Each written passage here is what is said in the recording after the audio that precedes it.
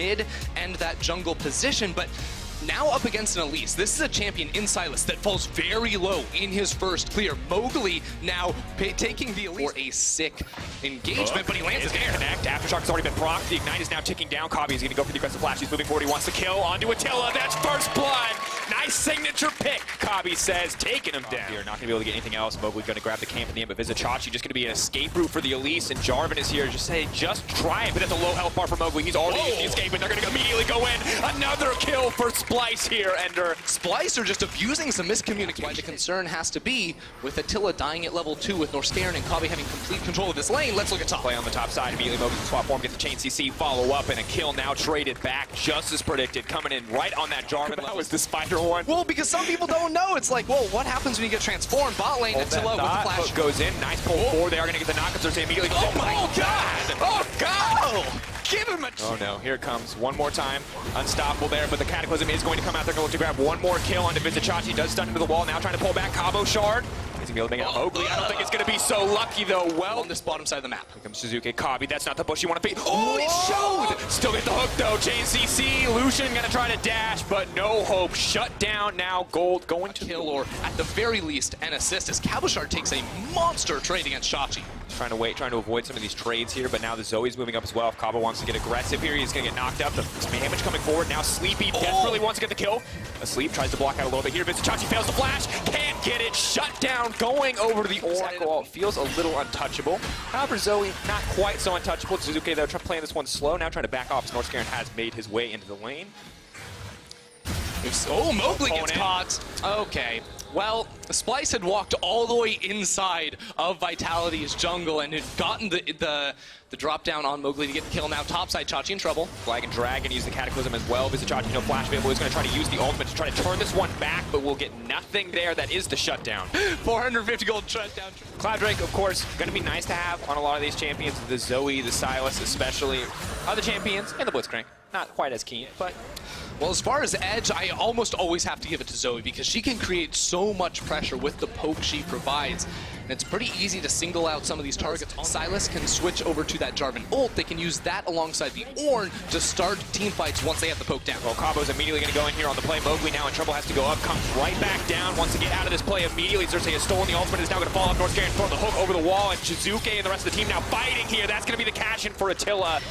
Massive spike in gold, trying to chain the CC. They're going to move in. They're not going to get the follow-up on the Ekko, but Norskeren is still set to fall. The Z-Drive Resonance speeding him up, and that's the double for Attila. Tilla comes in. That's going to be from Vizicsacsi, and he has the Ornn Horn. Gonna be big here. Gonna have to see if we get the follow-up connect. Xerxe now ready to leap forward. Knows that the Thresh is the priority target. Has seen the Lantern come out. Cabo is next on the menu. Holding his time on the flag and drag. Backing off. Does not quite have enough mana. Just wants to clear the wave. Now juking around to get the knockup. Well played by Cabo, but not enough. Abscond, abduct, and that's gonna be a death.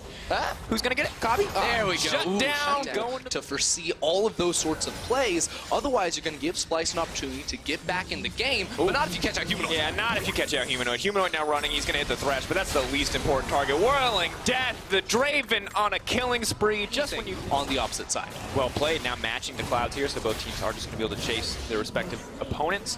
Level 11. The river around the Baron. They also have a wave here, but now a teleport comes in from Vitality. They want to fight. They're not even gonna look at Kobbe, they're trying to slow him down. Cabo, Blitzcrank flags flashing over the wall, trying to interrupt, trying to get something done, but no, the AD carry is gonna flash out for his life. Jiizuke is still getting it, immediately snaps back with the ultimate door scared and no man's land, and he will uh, go down. Vitality with perfect access to the pit now. Now with Cowboys. wants to secure this one.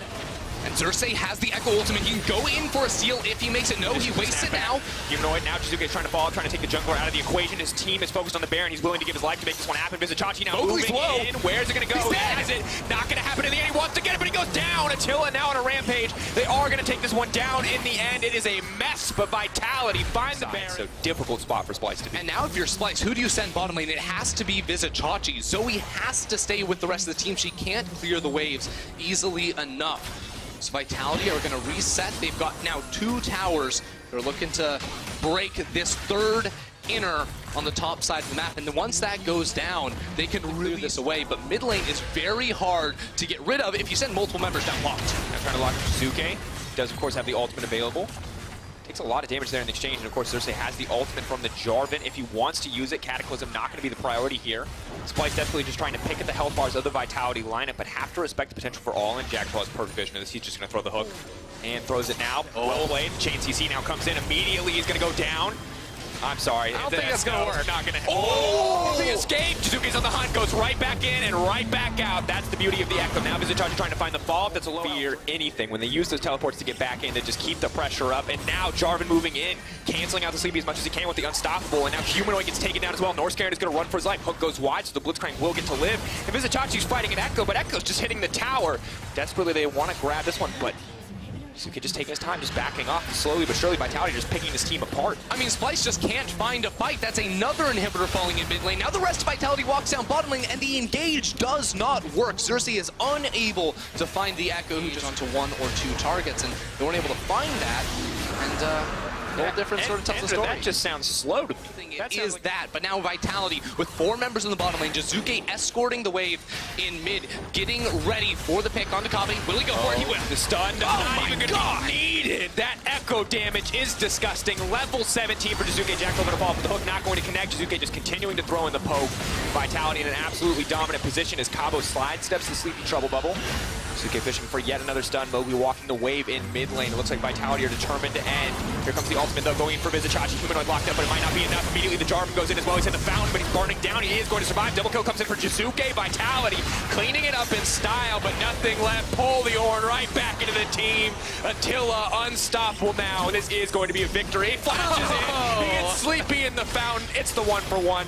But at the end of the day, Ender Vitality find the win. They find the win and they find it quick here up against Splyce. It was just that one team fight in the mid lane inside the jungle of Splyce and Vitality. Their train would not be stopped. Really, at the end of the day, we got nervous.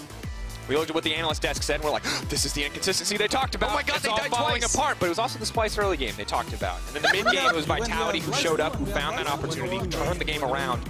And once Splyce were on the back foot, just did not see much. We saw a lot of engages where Vitality were dic- was dictating the pace, and a lot of Ornhorns that I feel like were, were very responsive, trying desperately to save what was a one-sided fight. Yeah, he was trying to call for the fight. Unfortunately, Vitality outmanned them, they outgunned them, and they just took it to him right there. And with that win, and of course Shock was lost earlier today, Vitality are in sole control of second place.